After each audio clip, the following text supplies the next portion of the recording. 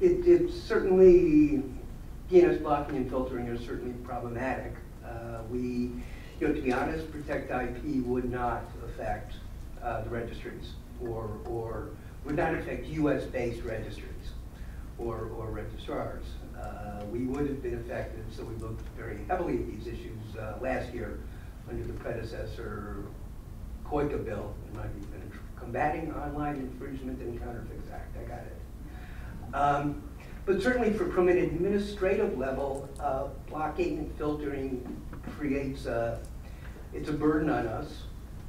Um, It raises some questions as to whether registries really even should be involved in this process, or whether the, the more proper, if there is a proper uh, target or recipient of blocking order is really the registrar, because they're the ones who have the direct connection with the register, with the target.